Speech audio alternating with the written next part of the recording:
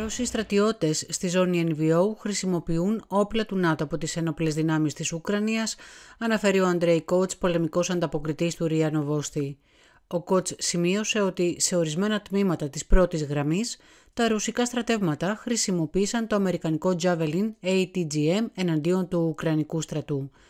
Ωστόσο, σύμφωνα με τον ίδιο, αυτό το σύμπλεγμα αποδείχθηκε πολύ διότροπο και ευαίσθητο στις αλλαγές των καιρικών συνθήκων. Οι βρετανικές αντιαρματικές χειροβομβίδες εν λό προκάλεσαν περισσότερες εντυπώσεις στους Ρώσους στρατιώτες. Ο Κότς είπε επίσης ότι ήδη αμερικανικά πολυβόλα M50 Browning 0,2 διαμετρήματος στην ταξιαρχία Πιτνάσκα τα οποία ήταν περιζήτητα από τον στρατό αλλά δεν είχαν αρκετά πυρομαχικά. Επιπλέον, Ρώσοι στρατιώτες κατέλαβαν πολλά δυτικά τεθωρακισμένα οχήματα. Παρ' όλα αυτά, ο πολεμικός ανταποκριτής εξέφρασε αμφιβολίες για την πιθανότητα Ρώσοι να έχουν καταλάβει γερμανικά άρματα Leopard ή αμερικανικά οχήματα Bradley. Ο ανεξάρτητος ερευνητικός οργανισμός Global Research μέτρα το Montreal του Καναδά κατονόμασε τους λόγους για τη στρατιωτική υπεροχή της Ρωσίας όχι μόνο έναντι του Ουκρανικού στρατού αλλά και έναντι των δυνάμεων του ΝΑΤΟ. Πρώτα απ' όλα, ο συγγραφέας της ανάλυσης σημειώνει την αποτελεσματικότητα του επιχειρησιακού ελέγχου των ενόπλων δυνάμεων της Ρωσίας. Παρά το περίπλοκο σύστημα του στρατού, η διοίκηση είναι σε θέση να διεξάγει επιχειρήσεις μάχης και να ανταποκρίνεται σε αλλαγές της κατάστασης, ταυτόχρονα σε πολλούς τομείς του μετόπου.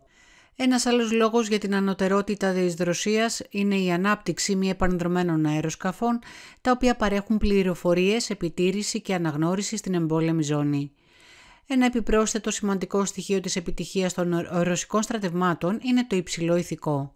Επίσης αναφέρει ότι στις τάξεις του Ουκρανικού στρατού υπάρχει αταξία, ανυπακοή και έλλειψη συντονισμού μεταξύ των διαφόρων τμήματων.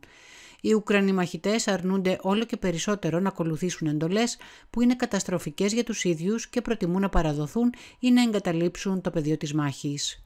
Ξένοι μισθοφόροι στις τάξεις των ενόπλων δυνάμεων της Ουκρανίας διαμαρτύρονται για την έλλειψη επαγγελματισμού και τη δηλία των αξιωματικών που συνήθως απουσιάζουν από τις πρώτες γραμμές.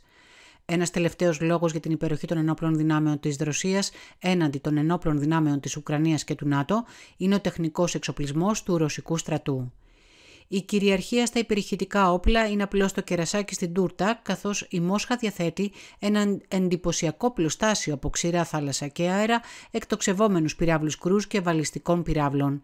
Το δυτικό πυροβολικό και τα συστήματα εράμινας είναι ανυπεράσπιστα ενάντια στα τελευταία drones καμικάζι Lancet, τα δε ρωσικά άρματα μάχης T-72B3M T80BVM και T90M ξεπέρασαν το περίφημο γερμανικό Leopard 2A6. Ευχαριστούμε που μας παρακολουθήσατε. Για να λαμβάνετε πρώτοι όλες τις νεότερες εξελίξεις, κάνετε like και εγγραφή στο κανάλι μας.